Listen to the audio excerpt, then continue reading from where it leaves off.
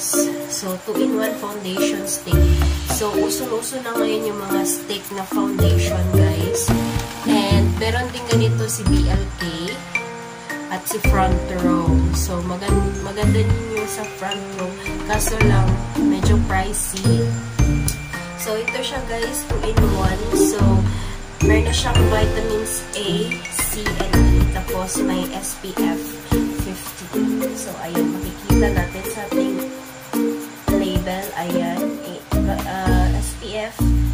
15 at saka meron siyang vitamins A, C, and E. So, ito yung shade niya. So, sabi nung tindera, one shade lang po yung ating foundation. So, ganito kahaba yung kanilang foundation from Sansan. Ayan, ganyan kahaba. So, yung kanyang uh, foundation mismo, merong uh, merong white dot or white circle, maliit na white circle dyan. Baka ito yung parang concealer na merong SPF 15. So, next tayo guys is ito yung kanilang eyeshadow, uh, eyeshadow, eyebrow powder duo. So, I'm in the shade of chocolate and dark brown. So, ito yung shade niya guys. So, metallic blue talaga yung sa Sunsun. So, uh, unique din yung color nila. So, ito na yung pinaka-packaging niya, guys. So, yung foundation stick pala, guys, is uh, only 190 pesos. So, meron pa pala siyang pa-brush kabilang side ng product. So, ito yung brush. So, parehas dun sa BLK Cosmetics, meron din silang ganitong style na, na brush. Ewan ko lang sa sa DD stick ng front row meron ba silang brush dun. So, ito 190 pesos. So, swak sa budget din kung gusto mag-foundation. Tapos, ito yung uh, eyebrow powder duo naman guys is uh, dalawang shades. So, ito na yung pinaka-color niya. So, ito yung chocolate at dark brown. So, meron din siyang uh, applicator. Ayan, nandito sa loob. Tapos, may mirror siya guys. Tunay na mirror. So, maganda na siya guys. Sulit na. Ang iyong, magkano ba ito? 165 pesos or 160. Wait, check natin. So, nandito pa yung resibo ko. So, yung ating eyebrow, eyebrow duo powder is 162 pala. 162 pesos. So, sulit na yung 162 pesos mo. Meron tayong 0.17 ounce or 5 grams of the product. So, lahat ng mga nakuha kong items, guys, from Sansan is, ano siya, ma-expire siya ng 2020. So, safe tayo dito sa Sansan. Next is yung ating eyeshadow palette. So, ito yung eyeshadow palette nila. So, ayan, shining, shimmering yung kanilang packaging. So, parang mirror na din siya. So, so itong eyeshadow palette is 245 pesos lang siya. So, ito siya, it's ang um, color na pinili ko, yung shade ng palette na ito is Fun. Ayan, si Fun. Meron din silang nude, guys, pero hindi, ang pinili ko is itong Fun.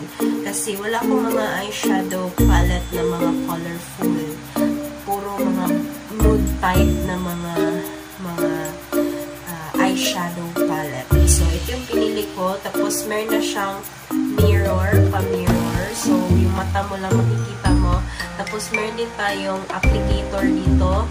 May sponge and meron din tayong brush. Okay. So, ito yun siya yung 245 pesos mo. Next naman is ang ating uh, lipstick. Pinanat yung lipstick. So, yung napili ko guys, dalawang shades. And ito siya guys is creamy matte. So, meron siyang SPF 15. Then to siya guys, SPF 15. May vitamins A, C, and E. Ayan, creamy matte lipstick. So, ito yung shade niya. Really red at saka uh, luscious plum. So, tingnan natin mamaya kung ano ba talaga ito. Creamy matte lipstick nila. Kung yes ba or no. So, last naman guys. So, itong Sansan High Definition Volumizing Comb Mascara with Vitamin E. So, I'm in the shade of color black. Ayan. So, ito siya yung Sansan. So, ito naman siya guys is uh, metallic purple. So, iba siya. Meron din siyang mga kasamahan na ganito. Uh, siguro by, by variant siya. Maybe itong mga purple is high definition. So, it, ito yung kanyang pinaka-product, guys. So, surprise na lang yung uh, suklay nitong mascara ito. So, itong mascara na ito, guys, is worth, magkano ba nito? 179 pesos each. So, mura na din siya, guys, kasi yung ibang mascara natin dito is 200 pataas. Yes. Tapos, guys, um, pagbili ko nito, guys, ah, meron silang pa-promo coupon worth 20 pesos, ano, uh, 20 pesos off, pero hindi ko inabil kasi wala na akong ibang bilihin. Tapos, 20 lang, 20 pesos off. Off ba yun? Or 20? Yeah. Tapos pala guys, uh, yung lipstick pala is sale. So, sale ko siya nabili sa Sansan. Itong lipstick, creamy matte lipstick nila, nabili ko siya ng 80 pesos each. So, wala na tayong patumpit-tumpit pa. Wala nang, wala nang keme. Simulan na natin. First, bago tayo mag-makeup guys, dapat malinis yung mukha natin. Tapos, before tayo mag-makeup guys, make sure naka-moisturize yung face nyo. Tapos, na, mag maglagay kayo ng moisturizer. So, I already put moisturizer sa aking mukha. So, ngayon, uh, before natin i-apply yung ating makeup, so, we need to have uh, this one. We need to put this one. So, ito siya guys is from Quick FX. Ito yung magiging primer natin. Para tayo oily. Ayan. So, for the sake, for formality sa look na ito, sa makeup na ito, kahit di ako alis, lalagyan natin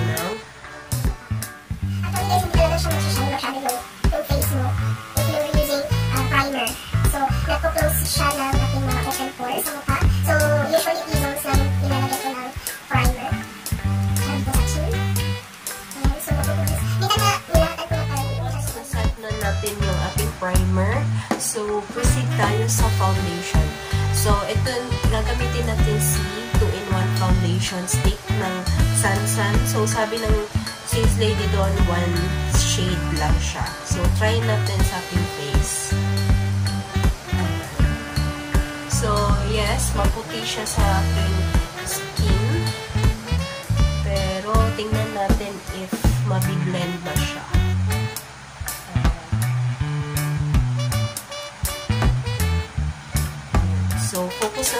Guys, hindi na natin sila. So, try natin gamitin itong C brush ng ating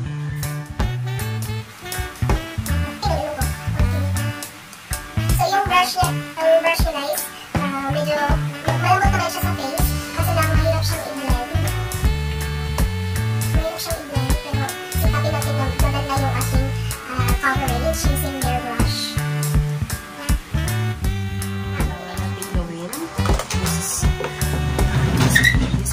makeup tutorial. Wak na salamin. So, yung kanyang coverage, guys, is light. Light coverage. Kasi, tingnan nyo, uh, hindi masyado nyo na nako-cover up yung aking aking mga dark spots, mga chismis sa mukha.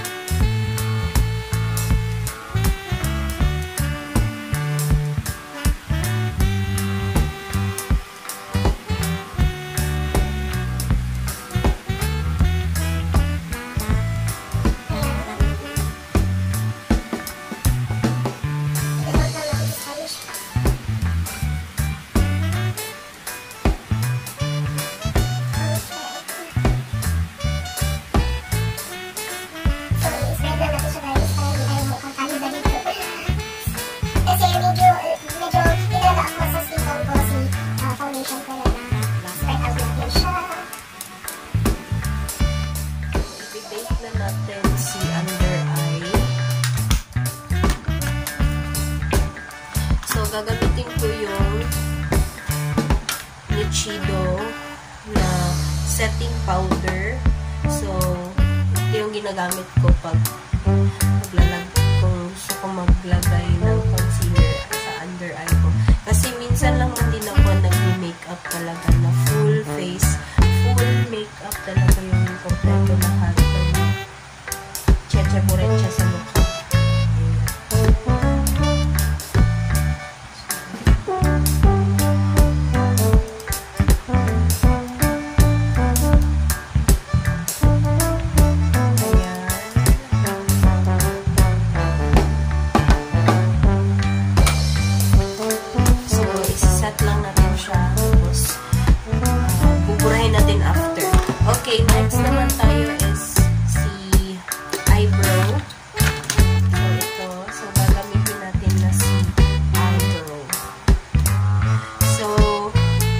swatch natin siya guys kung saan ba mas better na ilalagay natin sa ating kilay. Kasi yung kulay ng buko is black. Pero usually yung ginagamit ko talagang color sa aking kilay is dark brown. So this is chocolate brown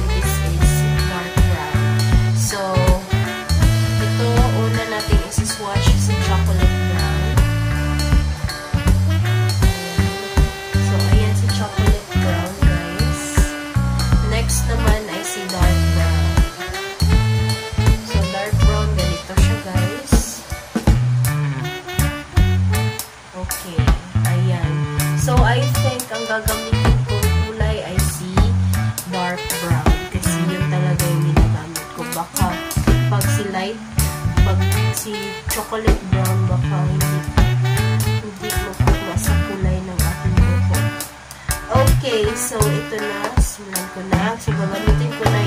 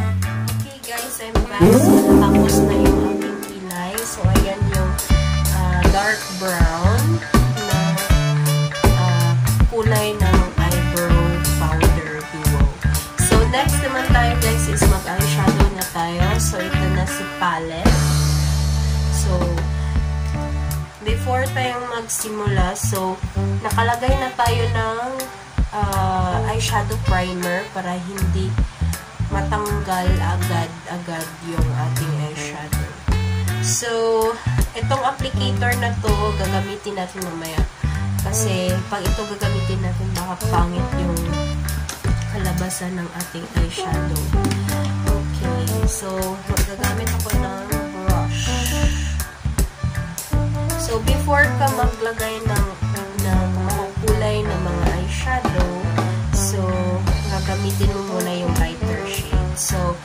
ito yung gagamitin ko, yung pinaka-light. Ayan. Ayan. So, medyo powdery lang si palette, guys. Si eyeshadow palette.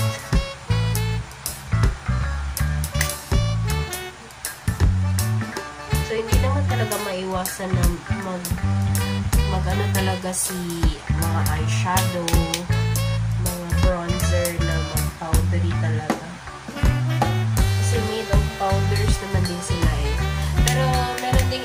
made in, made in powders but uh, but di masyadong powdery. Yung masyadong powdery na, na, na bili ko is yung Fashion 21 sobrang powdery mo guys. Okay, so, yung palette natin is colorful and it's fun. Ang gagamitin kong kulay is uh, imimix natin si purple, si blue, at si green. Tingnan natin kung ano kalabasan. Okay, so dark shade muna tayo. So, si purple ang gagamitin ko. This one. Let's try. Medyo powdery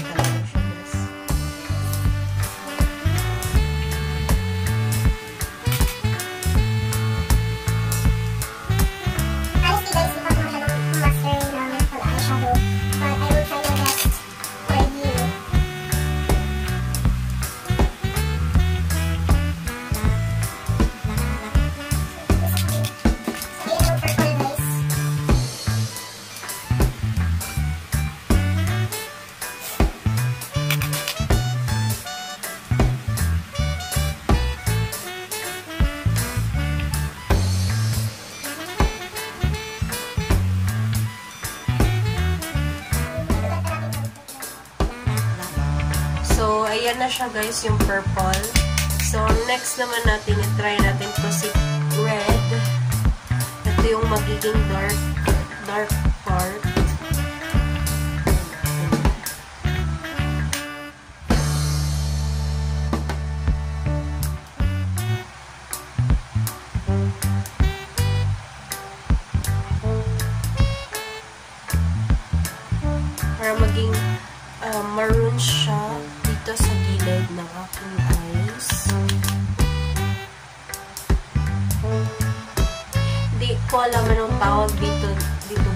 pero ayan, dito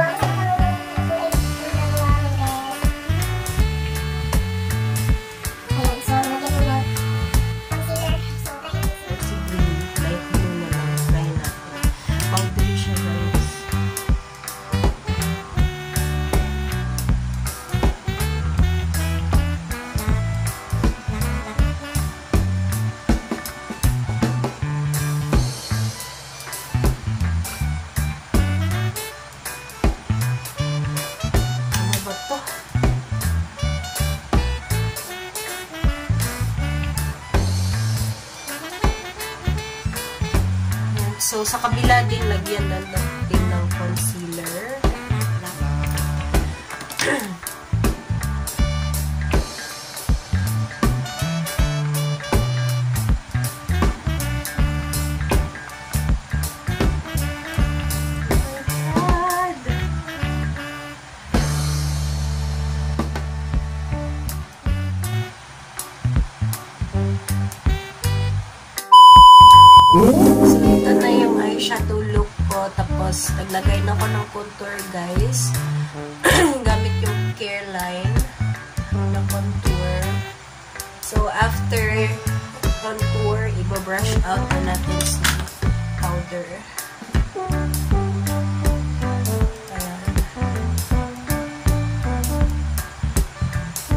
pa pala natin ng nose line.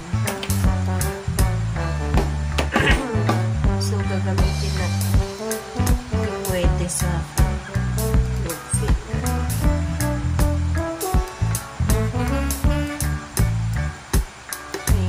So, paminsan-minsan lang tayo magka-tangos-tangos ng ilong guys.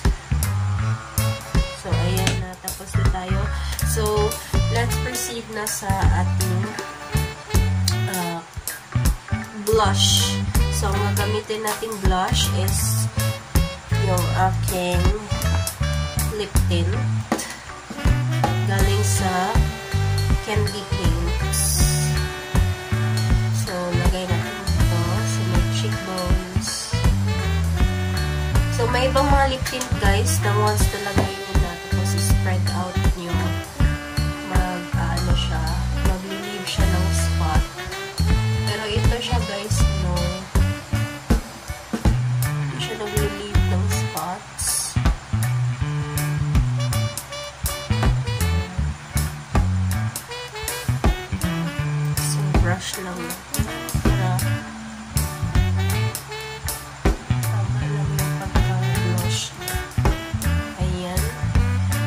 next na tayo guys is si lipstick. So, may dalawang shades tayo. Si Really Red at saka si Lucious Plum. So, si si Lucious Plum yung gagamitin natin kasi may purple tayo sa lips.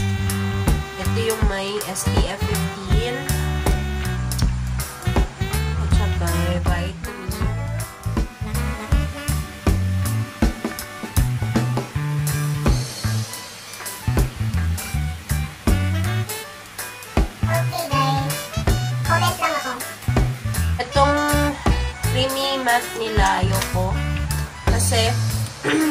siyang shiny sa lips ko. Tapos, hindi niya ma-cover up yung dark dark line sa lips ko dito. So, mahalata pa rin na mayroong dark. Pero, good ito siya sa mga dry lips. Yes. Meron siyang moisturizer. May mamamoisturize din yung lips nyo. Since meron naman siyang vitamin A, C, and E. So, ayoko ng ganitong lipstick kasi parang parang parang nakakain ng mamantikang pagkain. So, ayan na siya guys sa lips ko. Ah, so nakalimutan ko palang mag-apply ng mascara. So, ito na yung mascara natin. Pero, meron tayo ditong uh, lashes. So, nabili ko to siya sa sa Feltree, sa Uyang rin. So, worth uh, 24 pesos lang po siya, guys. So, maglalagay lang pa na ng lashes and konti na natin. Mission control, you read